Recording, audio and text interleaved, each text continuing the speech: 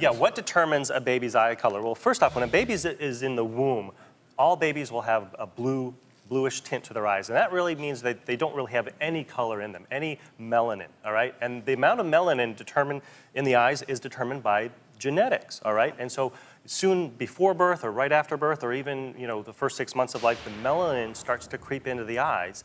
And so let's, let- I'm going to show you how that works. Trav, do you want to be my assistant I would love to, So, Dr. Sears. Here's the kind of the basic eye color, all right? This is an eye with no melanin, and this is what she probably looked like in the womb.